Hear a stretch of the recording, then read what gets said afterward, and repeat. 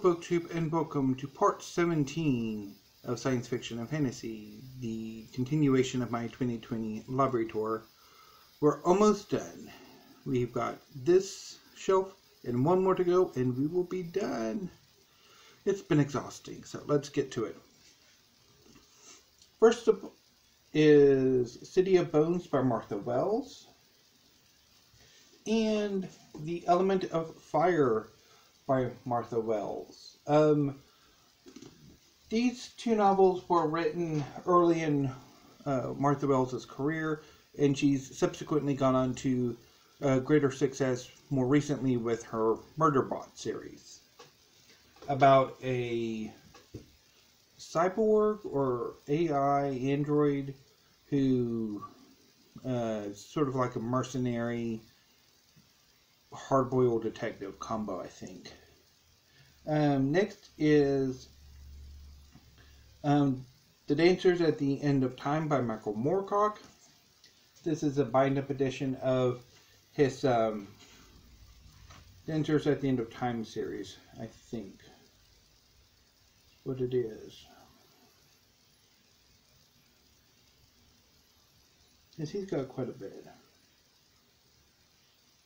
Anyway. and then we have another Malazan book. This time, The House of Change Chains by Steven Erikson.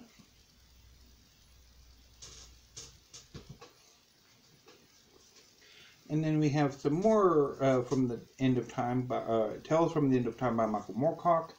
I'm not entirely sure if this is exactly a double that's included in the Dancers from the End of Time or if this is something separate. I've never actually been able to ascertain that. So I picked that one up from Golden's, but I've always wanted the omnibus edition, which I picked up from Alibris uh, about a year or so ago. And then we have some by Gene Wolfe. This is uh, The Citadel of the Autarch, Volume 4 of the Book of the New Sun. Excuse me. Um, Shadow March by Tad Williams. Uh, two by Kai Ashante Wilson. This is The Sorcerer of the Wildeeps. Um, this is, I guess you could say, a Sword and Soul novella. Um, one of the first ones that Tor put out a few years ago. We just had some books fall down. Um, and this is the story of the sorcerer who falls in love with the captain of this uh, sort of um, caravan protection company. Or it's like the pretty much they protect the caravans that travel across the world to trade. And they travel from the this northern land to a southern land and you have to cross this um, haunted road through this sort of great forest that is haunted, magical, a portal to various worlds. And their characters, uh, the sorcerer and the captain, are both descendants of gods. And it's really good. And this is a sequel, A Taste for Honey.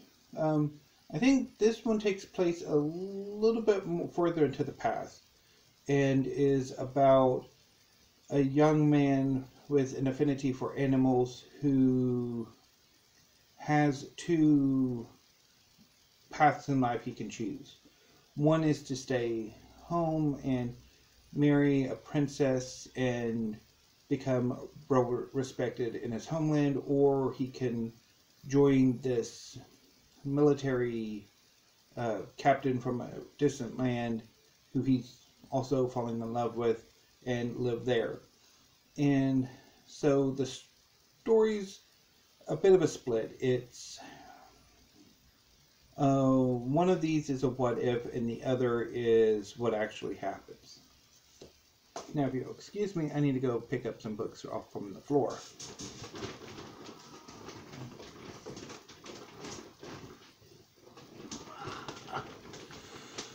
It was, ow, almost about to get myself cramp. Um, that was only um, Shadow March that fell. So next we have a two by Tad Williams. This is Otherland, uh, Volume 2, River of Blue Fire. And this is Volume 3, Mountain of Black Glass. Um, the Otherland series, I want to say they're um, sort of like an epic fantasy within a sort of virtual reality game, is what I'm thinking what it's about. And then we have two by um, Gene Wolfe, or two more by Gene Wolfe, On Blue's Waters, the first volume of the Book of the Short Sun, and in Green's Jungles, uh, volume two of the Book of the Short Sun. Pick both of these up from uh, the Friends at the Library Book Sale Nook a few years ago.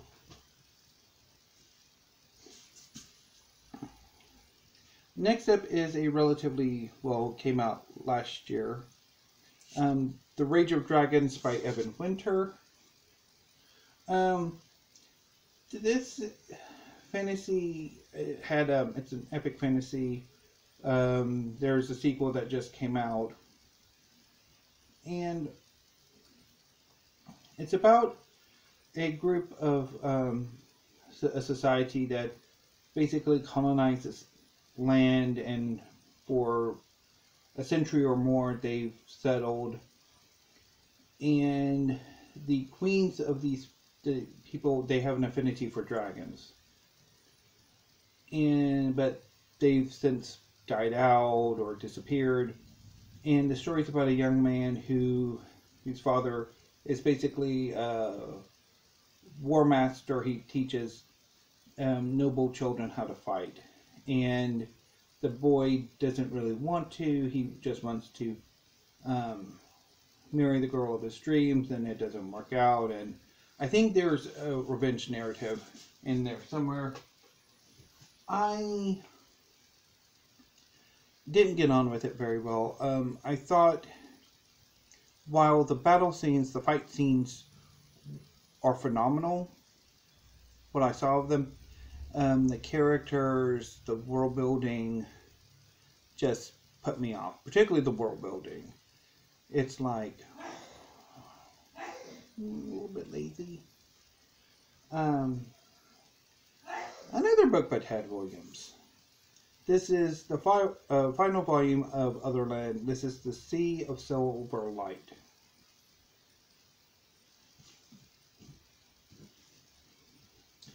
Now we have another bind up. This is uh, Storm Constantine's uh, Wraeththu. This came out, I think, in the 80s. And it's a post apocalyptic fantasy in which. Um, there's a new subspecies of humans called Wraeththu, who are, I think, hermaphroditic in some way. Um, I've wanted to read Storm Constantine for ages, and I think I interlibrary loaned this book um, when I was in college, and um, I didn't quite get on with it, but I'm kind of hoping maybe eventually I will come back to it and have a better go at it. And next is The Chronicles of the Black Company by Glen Cook. This is another bind up. Um, it includes the first trilogy of the Black Company series with uh, the Black Company, Shadows Linger, and the White Rose, which in this it's about a mercenary company who are hired by this um, evil overlord called the Lady uh, to serve her. And over the course of the series, um, I think they prevent her husband from coming back and also rebel against her and eventually see her downfall. And subsequently joining the Black Company because she falls in love with the uh, chronicle chronicler of the group. Um, next, we have uh, three novels by Aliette de Bodard. The House of Shattered Wings. This is the first book in the um,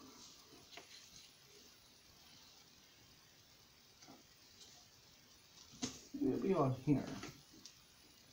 Dominion of the Fallen. Yes. Dominion of the Fallen. So in this um, novel, a Vietnamese immortal living in Paris, a Paris that has fallen and become dominated by uh, various competing factions of fallen angels, um, finds a fallen angel. And bits of fallen angel can be used for various magical artifacts. He's captured by uh, one of these most powerful houses of fallen angels, Morningstar, and he's basically forced into service. All the while, there's a conspiracy uh, going on. Something strange is happening within House Morningstar that will see the house fall. Or, it's not House Morningstar, I think it's. Oh no, the founder's Morningstar, but it's House Silver Spires. It's been like three years since I've read this. So, now I love this book. It is fantastic. Um, the sequel is as good, The House of Binding Thorns. Um, in this one, the attention is shifted to um, House Hawthorn, who played a more of an antagonistic role in the first book. And in this book, it's using a conspiracy to uh, that seeks the overthrow of the leader of House Hawthorn um, as Asmodeus. And it's really good as well. And we have the third and I think final volume of the Dominion of the Fallen series. This is the House of Sundering Flames, which I have not gotten to yet.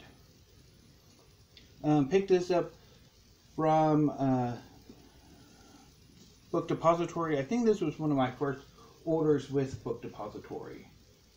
Um, because the third volume um, didn't come out in the U.S. Because I think yeah, House of Shattered Wings came out like 2015 or 16, and then House of Binding Thorns came out in 17, I think, and so it was I think yeah. Then I never saw, or maybe a little bit back but it took a while for this one to come out, and I don't think it's ever actually been released in America. So I picked it up in uh, the UK edition. And next we have a collection of short fiction by William Gibson, uh, Burning Chrome, which is one of the most famous uh, cyberpunk short stories ever. And I actually read it for a class in college. Um, that I TA'd for. It was really good. The problem with these uh, shelves on the bookcase my brother built for me is that they're quite long and there's a lot of books on them and I have to move them. So next we have uh, Weavers of War, book 5 of the Winds of the Foreland series by David B. Coe.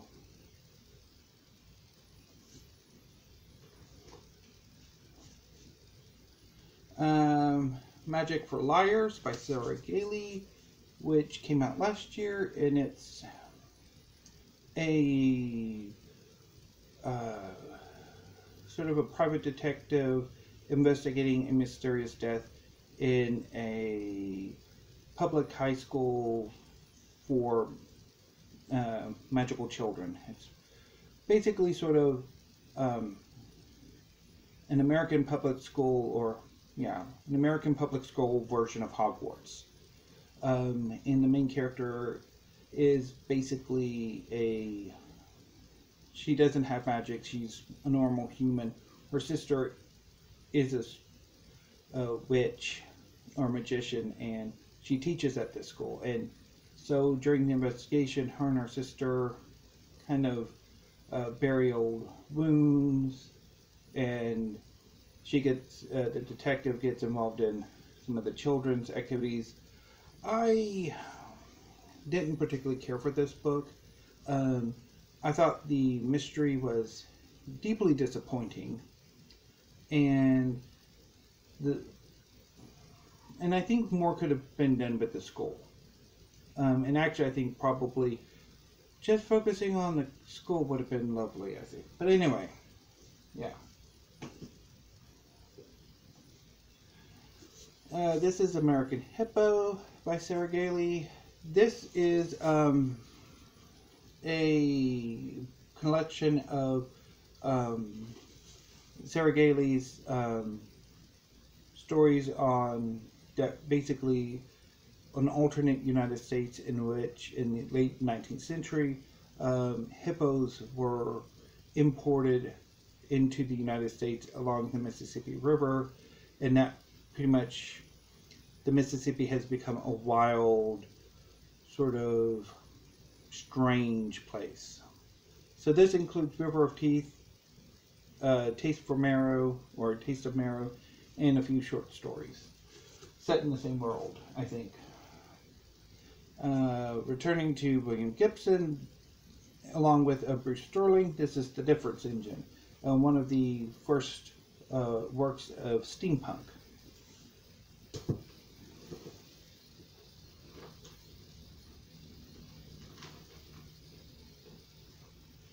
I have no idea how I'm going to get those last few books. This is going to be fun. Um, Neverwhere by Neil Gaiman.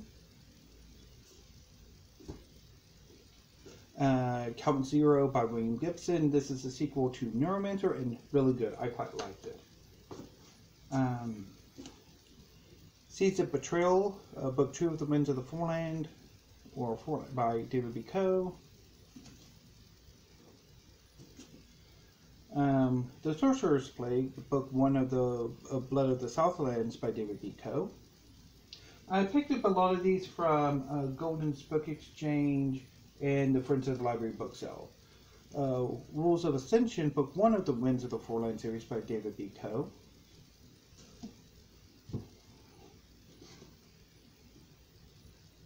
Bonds of Vengeance, Book Three of the Winds of the Foreland. Again by David B. Coe. And Neuromancer uh, by William Gibson. Um, this is one of the seminal um, novels of cyberpunk. In this novel, uh, basically what we would call a hacker uh, has been burned. He can no longer access the internet. In this setting, basically people can access the internet mentally, um, or what would become the internet.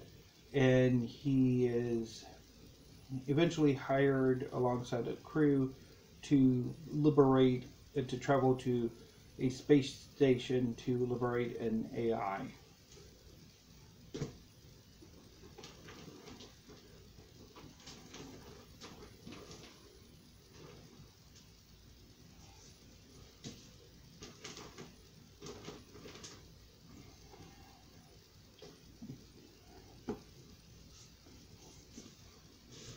So, next up, uh, Red Moon and Black Mountain by Joy Chant.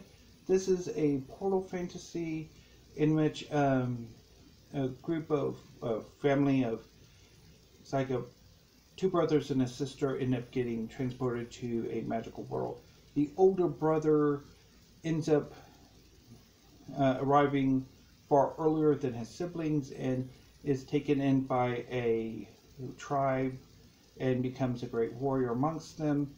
And the younger siblings are picked up by this um, sorceress figure, and they basically are involved in a prophecy to defeat a dark wizard. And this is a sequel, The Grey Mane of Morning, again by Joy Chant.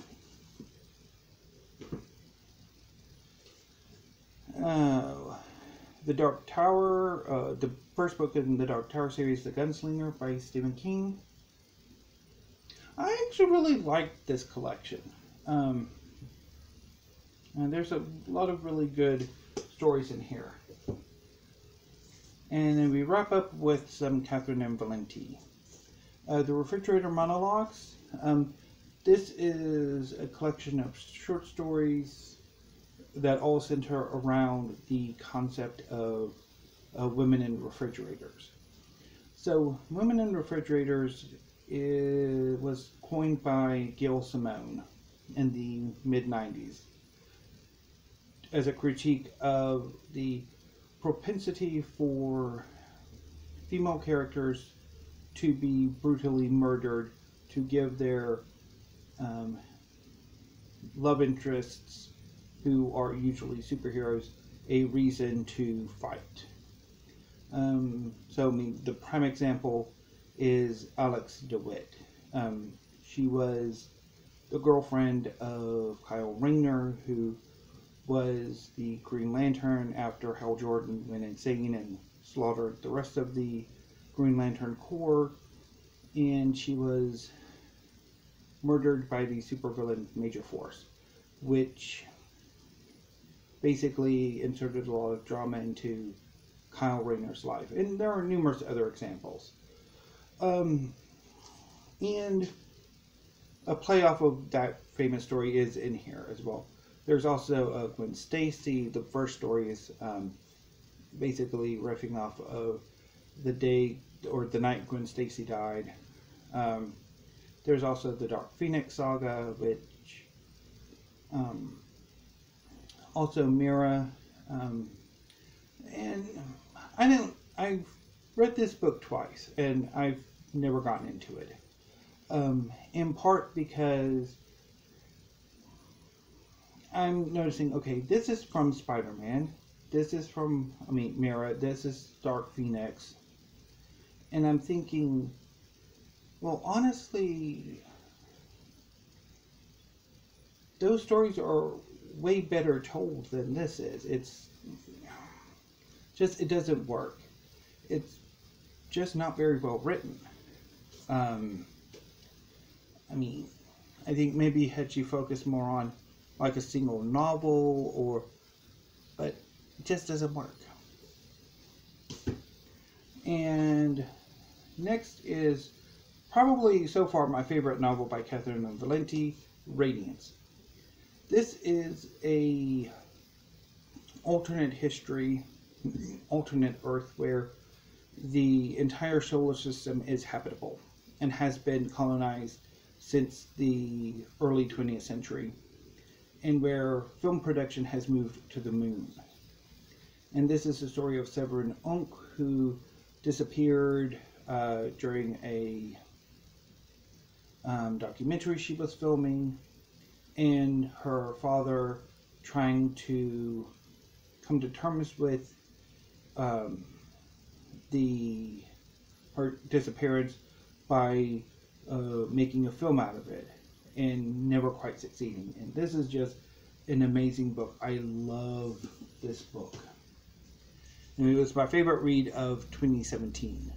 And also, when I reread it last year, I adored it even more. So, that was show part 17 of the science fiction and fantasy part of the 2020 library tour. I will be right back with the grand finale, uh, part 18.